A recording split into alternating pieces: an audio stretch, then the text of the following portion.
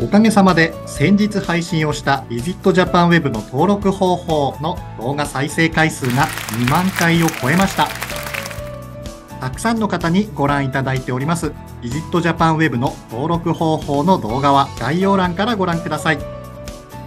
本日は実際にお客様から寄せられた日本入国に関しての質問をいくつかご紹介したいと思います。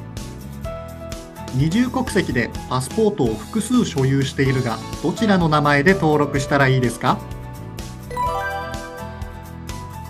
日本入国時に提示する予定のパスポート情報でご登録ください。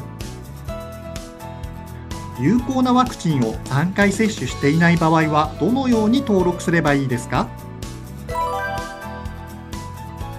有効なワクチンを3回接種していない場合にはワクチン接種証明書はなしで選択してください。出発72時間以内の検査陰性証明書の登録をお願いいたします。姓が変わりワクチン証明書に記載されている氏名とパスポートの氏名が一致しない場合はどうしたらいいですか？ワクチン証明書にご自身でパスポート名を鉛筆等で追記ください。姓も名も一致しない場合は受け付けられないこともございます。情報を登録して取得した QR コードはプリントアウトしてもいいですか？事前審査後に表示される QR コードをあらかじめ印刷して空港検疫で提示することができます。アカウント作成時のパスワードの設定ができません。パスワード作成には必要な文字の種類が決まっています。10文字以上大文字小文字記号数字が全て入ったパスワードを作成する必要があります。乳幼児など1人で手続きができない方は同伴家族として登録することができるとありますが高齢者も対象になるのでしょうか？高齢者の方もご自身で操作ができない場合など乳幼児と同様に同伴家族の対象になります。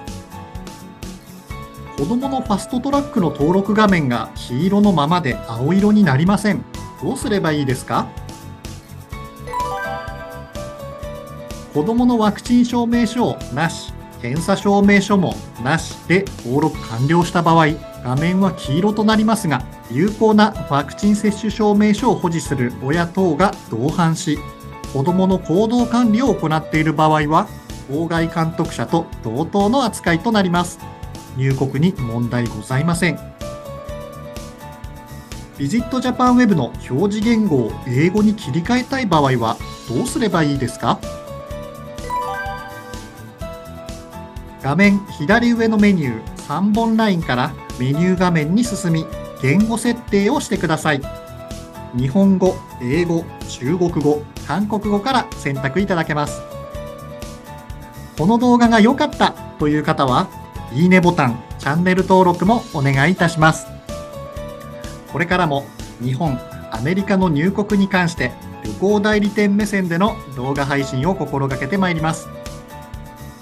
それでは次の動画でまたお会いしましょう。